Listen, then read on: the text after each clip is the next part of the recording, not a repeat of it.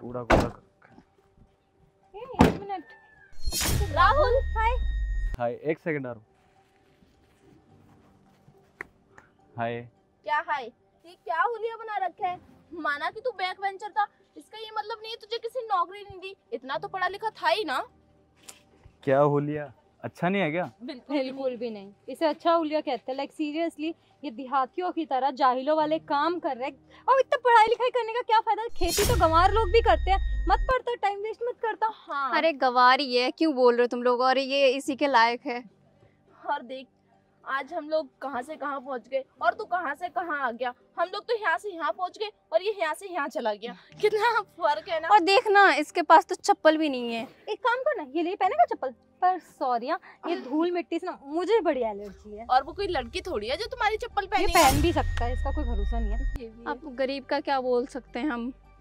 चलो छोड़ो ना और वैसे तुम तीनों यहाँ क्या कर रहे हो? वो ना हम गाँव घूमने आए थे तो सोचा खेत भी घूम ही लेते हैं बट तू यहाँ पे मिल गया। अच्छा। और वो भी इस हुलिये में। तो घूमो ना खेत देखो चारों तरफ़ खेत ही खेत है। अच्छे है ना खेत? खेत तो बहुत अच्छे हैं।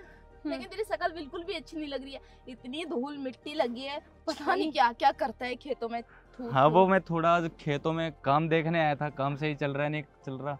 और थोड़ा सा कूड़ा था तो मैंने साफ़ कर रहा तेरा था तो काम ही वही है तू वही कर सकता है। पर तुझे घिन नहीं आती मुझे तो बड़ी घिन आती है। और गाँव के देहाती लोगों के साथ तो मैं कभी रहना पसंद ना करूँ। छी इतनी धूल मिट्टी में रहते हैं। या खुद से भी घिन आती है इंसान को हल्की सी डस्ट लग जाती है। और और गाँव तो इतनी डस्ट लग गई ना मुझे ईचिंग हो रही है। धूल मिट्टी? अरे ये देखो हमारे गाँव क्या की कर रहा मिट्टी कितनी साफ़ और शुद्ध है। इधर ना मिट्टी मत उड़ा। तुझे पता नहीं हमने कितने महँगे कपड़े पहन रखे हैं। सारे कपड़े गंदे कर रहे हैं हमारे। और एक बात बता तेरे मम्मी पापा को ज़रूर तुझ पे शर्म आती होगी है ना? क्योंकि उन्होंने इतना पैसा लगाया तुझे पढ़ाने लिखाने में। और आज तू बड़ा होके क्या कर रहे है? किसी के अंडर काम कर रहे हैं वो भी खेतों में। हर एक कोसते होंगे इसके माँ बाप इससे हाँ। कि किस निकम्मे औलाद को जन्म दे दिया। काश पैदा होते मार दिया होता। ज़िंदगी में इतने खर्चे नहीं करने पड़ते ना इसके माँ बाप को अरे ऐसा कुछ भी नहीं है। मैं ना मेरी माँ बाप का ना लाडला बेटा हूँ और गर्व है उन्हें मुझ पे। तो जैसे फटीचर को भी कोई लाडला मान सकता है? और मैं तो ये सोच रही तेरे को रखा क्यों घर पे? लात मार के निकाला क्यों नहीं? और तेरी तो यही औकात है कि तेरे को ना लात मार के निकाल देना चाहिए था क्योंकि तू तो कुछ कर नहीं सकता। और आके क्या कर रहा है? खेतों में कूड़ा बिन रहा है। ये करने के लिए पढ़ाया था तेरे को माँ बाप ने? अरे मुझे क्यों मारेंगे मेरे घर वाले लात मैं काम करता हूँ मैं। ठीक है खेती बाड़ी सारे काम कर लेता हूँ मैं। हुलिये से पता चल रहा है कि तू क्या काम कर सकता है। खैर छोड़ो हम इससे क्या लेना देना? जो मर्ज़ी वो कर तू चाहे इसमें मुँह मार चाहे इसे उठा के अरे छोड़ो ना मैं तुम्हें खेत घुमाता हूँ। आओ ना। है? अरे तेरी तूने खुद को देखा है जो हम तेरे साथ घूमे? छी यार तेरे में से तो बदबू आ रही है और हम तेरे साथ घूमे। मुझमें से बदबू? और नहीं तो क्या? मुझमें से नहीं आ रही। अरे आस पास से आ रही होगी बदबू तो। शट अप मुझे पता नहीं है हम कितना महँगा इत्र यूज़ करते हैं। अरे तू क्या? तेरा ये खेत में बिक जाएगा। एक बात बता वो टूटा फूटा घर तेरा है क्या? हाँ वो भी मेरा है। हाँ मुझे तो तेरा ही लग रहा है। मुझे तो इसका भी नहीं लग रहा। तुम तीनों इतनी बदतमीजी क्यों कर रहे हो मेरे साथ? बदतमीजी? अरे अब हमारा कोई लेवल है स्टैंडर्ड है अब तुझ जैसे फटीचर से बात करेंगे। अब हमारा लेवल क्या रह जाएगा? हम्म। मतलब समझा नहीं मैं कुछ। अंकिता समझाएगी तुझे। समझाना जरा इसको।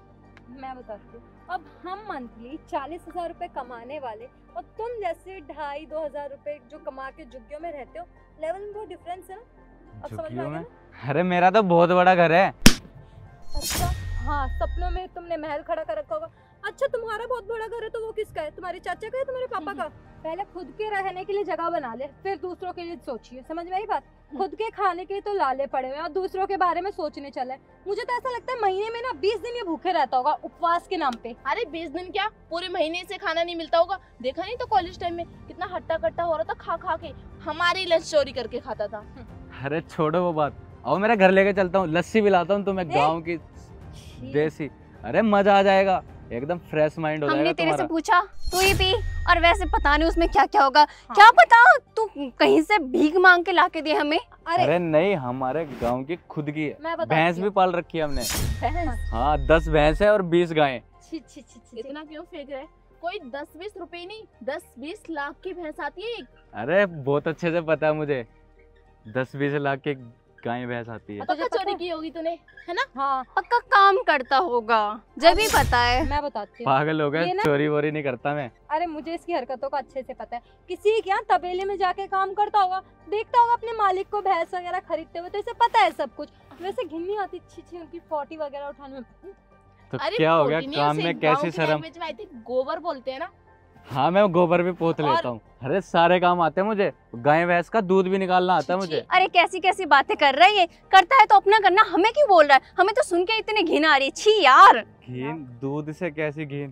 दूध से घिन नहीं आ रही है हमें। तू जो गोबर उठाता है और दूध निकालता है उससे घिन आ रही है हमें। हाँ तो मैं दूध नहीं निकालूँगा तो वो दूध तुम लोगों तक कैसे पहुंचेगा? दूध निकालने की। भी बात ओके है।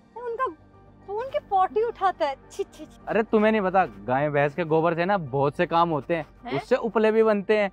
हाँ गैस भी बनती है उससे और तो और गाय के मूत्र से ना दवाइयाँ भी बनती है। छी। छी? तुम छी क्यों बोल रहे हो? इन्हें तेरे मुँह पे थूकना चाहिए था। जैसे तू बातें कर रहा है हमसे मन गंदा कर रहा है हमारा। यार चलो यहाँ।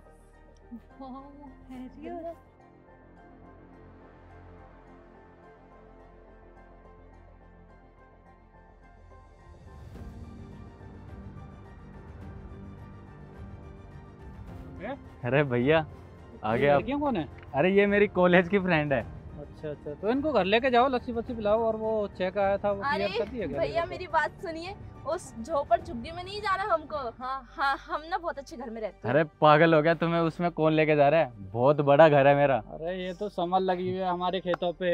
ये यहाँ थोड़े ना रहते हैं हम। अरे वहाँ तो वो खेतों में काम करते हैं ना उनको दे रखा है हमने वो रहते हैं वहाँ पे। गाँव में तुमने सरपंच का घर देखा है ना? हाँ। उसके बराबर में जो हवेली है वही तो है अपनी। व्हाइट हाँ। वाली? हाँ।